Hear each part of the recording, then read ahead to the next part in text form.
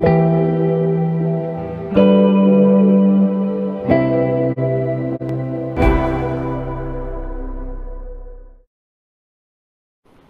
una pregunta que tengo así como en ciernes, ¿la obra qué pasó?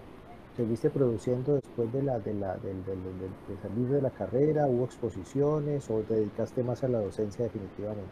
Eh, no, yo trabajo para producir. A producir. sí. Ajá.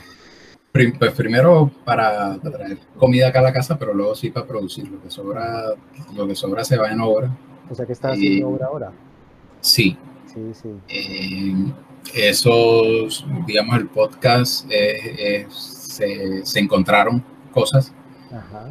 Primero un trabajo con una fundación que también estoy trabajando con ellos desde 2011 ellos háblame, háblame, háblame, de la fundación y ahora volvemos a la obra, porque ya he nombrado tres veces lo de la fundación y me parece interesante, sí, sí. porque es que además estoy como atando cabos en la medida que vas hablando, entonces como que la fundación más los planteamientos de los cursos, como que me, la crítica a la, a, a, a la, antropología, como que me retorna eso de lo antropólogo que eres también. ¿no?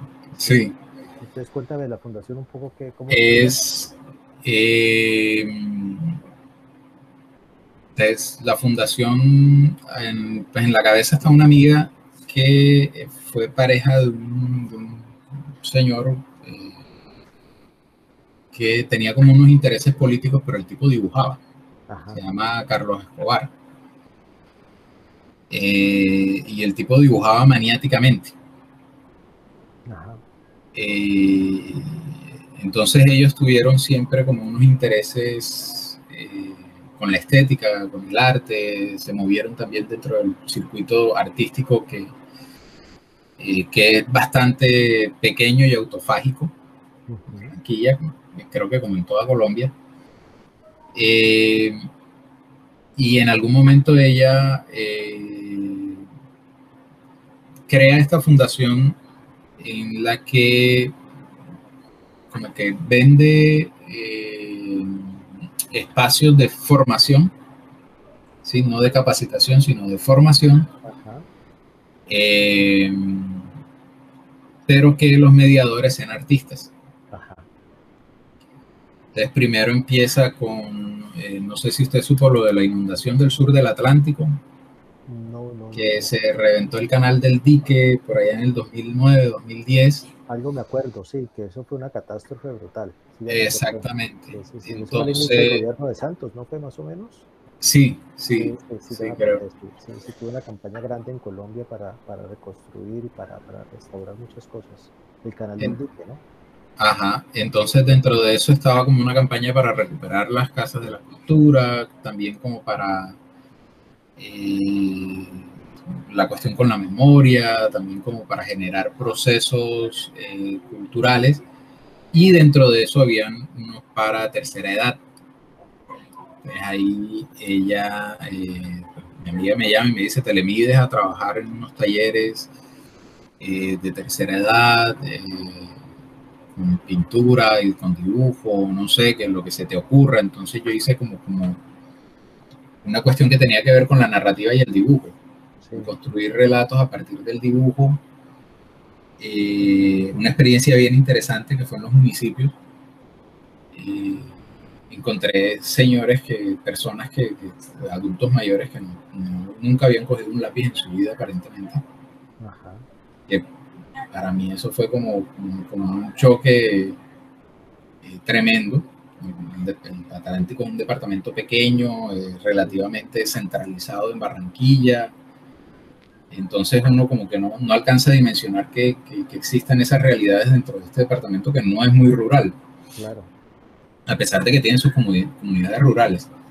Eh, pero bueno, se, se generó ahí una cosa interesante y luego ella entra a participar como en estas convocatorias del ministerio Sí. y entra como contratista de, creo que del distrito. Ese, ese primer trabajo fue con la gobernación del distrito para esto, este programa de cero a siempre, Ajá. que es de promoción de lectura, que, que, Sí, sí, que, sí. que lo crea o, o el que lo pone en marcha. Normalmente eso le dicen a uno que lo crean ellos, pero normalmente son cosas que vienen de afuera, Sí, eh, como familias en acción. Ajá. Eh, el que lo pone en marcha es el gobierno Santos y eh, primero empezamos a trabajar con eh, madres comunitarias y profesoras. Para eh, sensibilizarlas en el arte como medio. Ya. Entonces, porque me imagino que allá es igual, a las clases de arte son clases de manualidades. Por lo general, sí, en algunos colegios, sobre todo, están como muy enfocados hacia la manualidad, sí. Exacto, entonces bueno, ahí hubo toda una serie como de... También tuvimos capacitaciones en el, en el, en el Reyo Emilia y en una cantidad como de estas metodologías de, de pedagógicas Ajá. de primera infancia. Y entonces yo estaba trabajando con eh, profesoras de primera infancia y con madres comunitarias. Ya.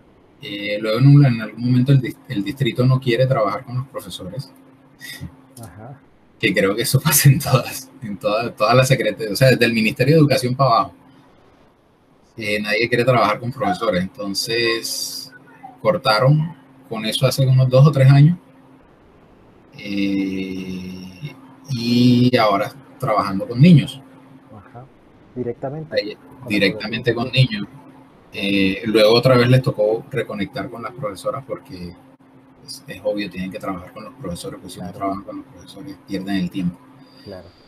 Eh, y dentro de eso, pues entró la pandemia, entramos a la virtualidad, los talleres entraron en, en suspensión porque son unos talleres semanales, una vez a la semana, uno se encuentra con los niños, hace cosas, eh, trabajé una cantidad de cosas.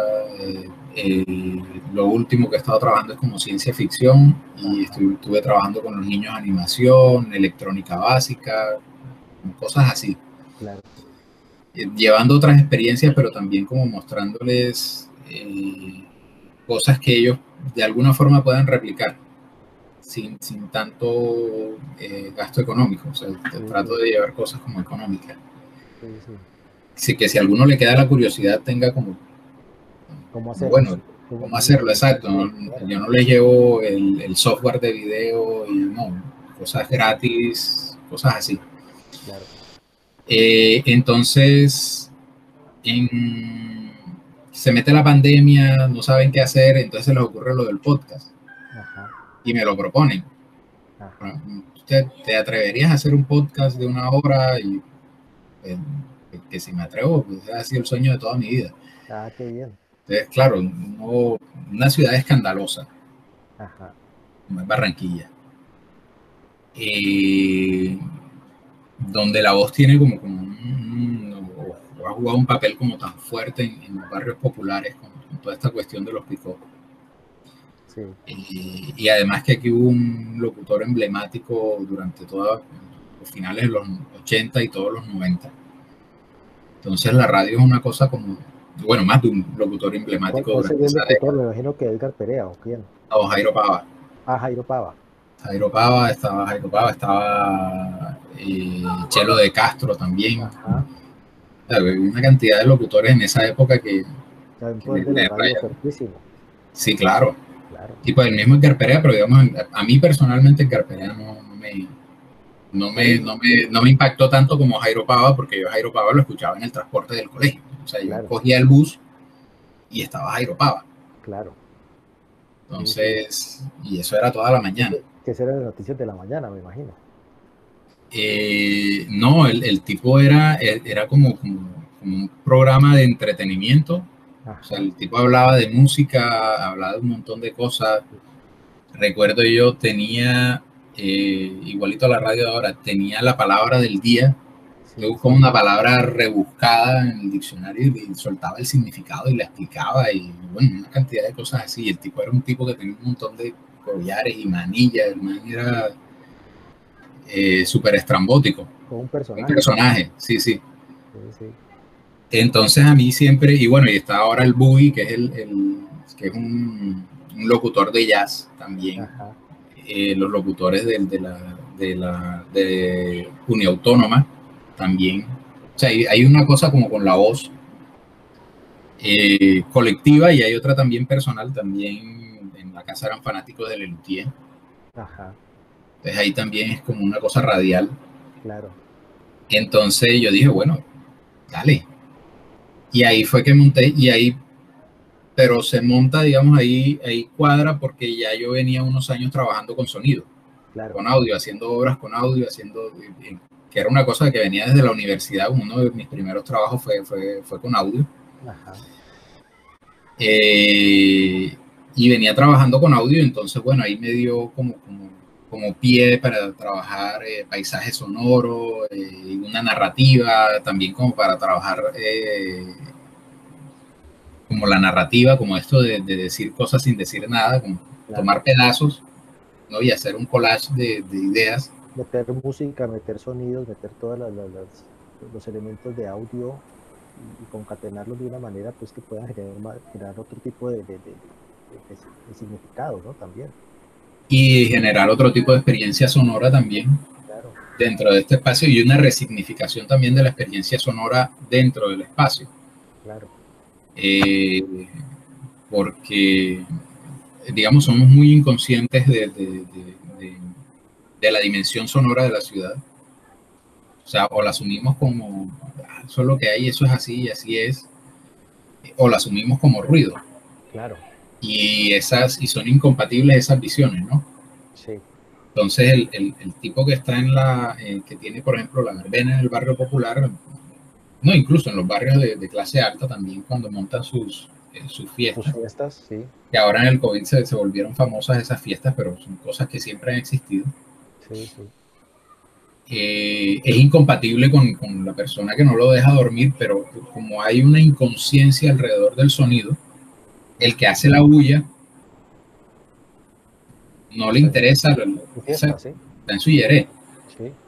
Y la otra persona tampoco o digamos, y la persona ya que, que, entra al otro extremo, que ya que nunca hace eso, eh, no comprende el, el, de dónde viene y de dónde proviene y cómo, cómo se formulan como esos espacios de, de, ruido.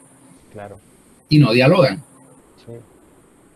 Y nada, hay N conflictos durante mucho tiempo.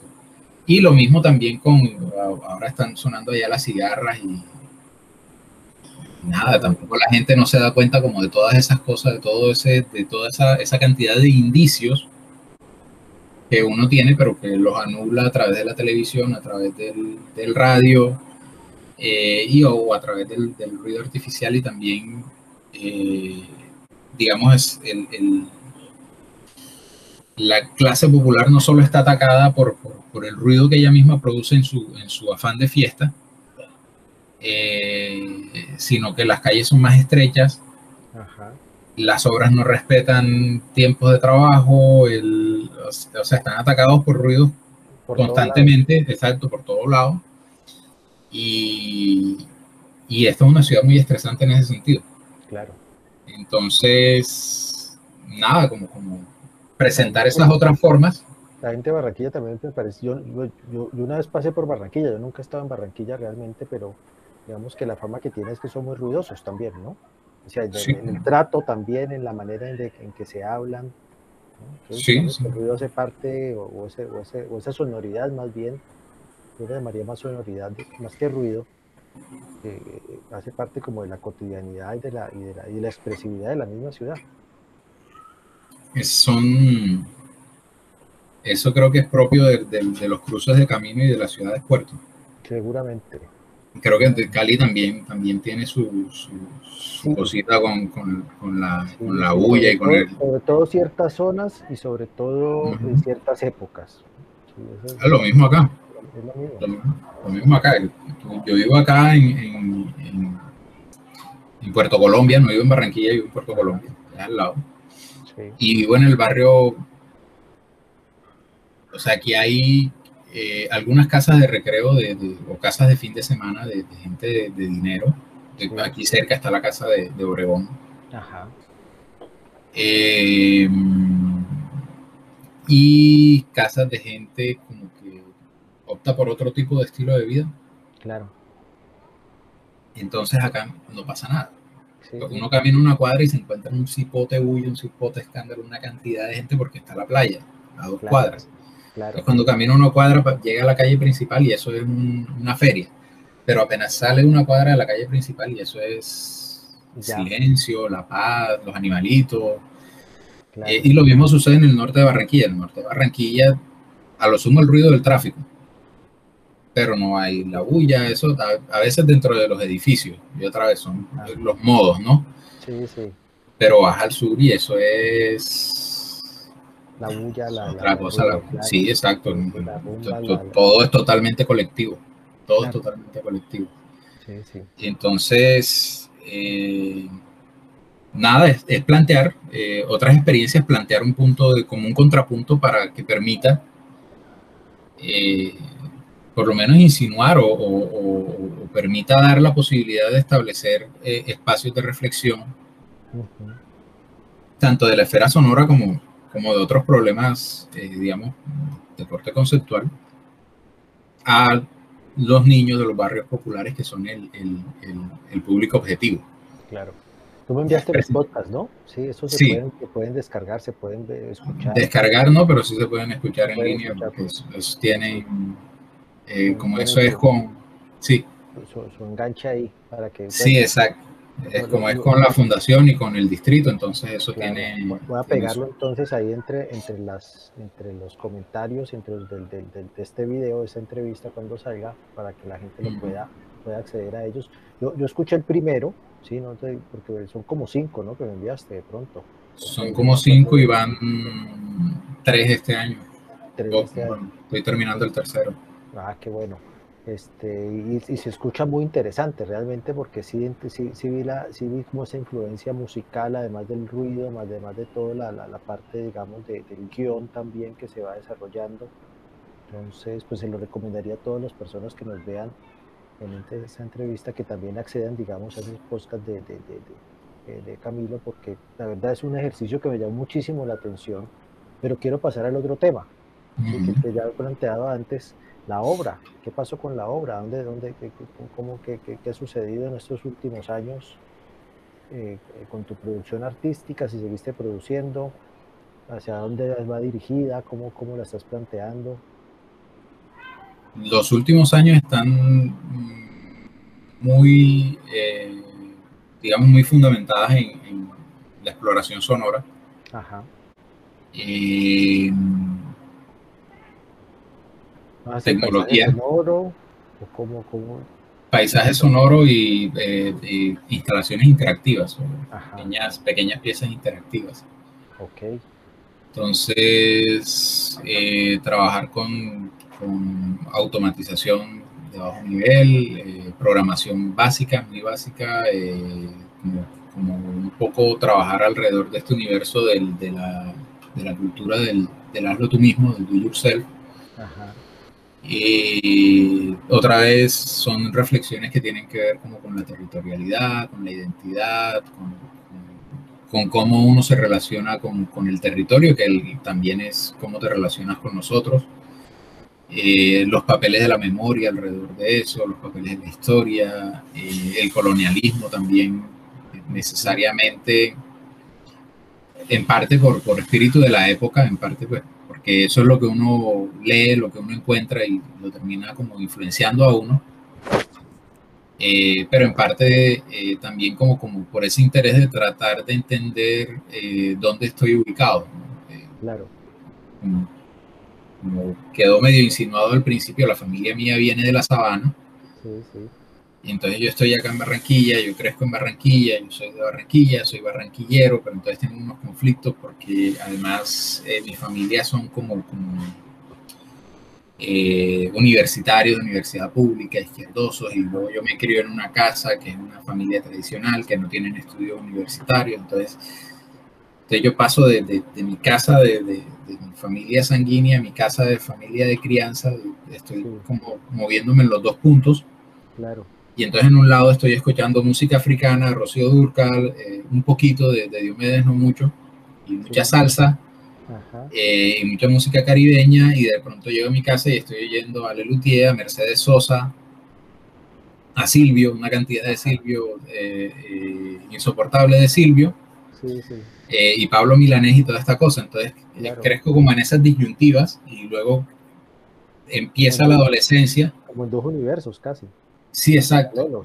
Pero, pero están totalmente en ese momento los veía como, como en, en, pugna, pero están totalmente integrados. Claro. Luego uno se da cuenta que están totalmente integrados y que uno no es el bicho raro, que hay un montón de gente que pasó lo mismo. De, mis amigos ahora, que me lo encuentro ya después de viejo, a través de, de Manuel, él se encuentra con él en una exposición, entonces me dice, se man es igualito a ti, me encuentro y resulta que tuvimos la misma experiencia de vida, nacimos casi el mismo año y tenemos casi los mismos referentes sonoros. Claro. Y, e, intereses muy, muy similares. Eh, y luego me mudo de barrio además. Pues otra... Otro cambio. Y, y luego cuando llego a la adolescencia, entonces sí, yo soy de Barranquilla, soy barranquillero, no sé qué, yo llegaba ya sinceros y les decía corronchos a todos. Sí. Eh, pero cuando empiezan esos ritos de, la adolescencia, de, empezar desafortunadamente en esa época de muy temprana edad a beber, me daba cuenta que mis ritos de... Yo aprendí a beber como los sabaneros en mi casa. Cuando me iba a beber con, mis, eh, con, mi otra familia, la familia de Barranquilla, con amigos de Barranquilla, mis ritos eran diferentes. Ahí, me tocas un punto sensible. ¿Cómo es beber como sabanero y cómo es beber como barranquillero? ¿Cuáles son las diferencias sustanciales? El choque más grande es que el, choque más grande es que el barranquillero se sirve el trago, se lo toma, coloca el vaso y pasa la botella. El sabanero se levanta y le sirve a todo el mundo. Ah, ya, el barranquillero se toma su trago, pasa la botella. El sabanero pasa y hace ronda con todos. Exacto, le sirve a todos.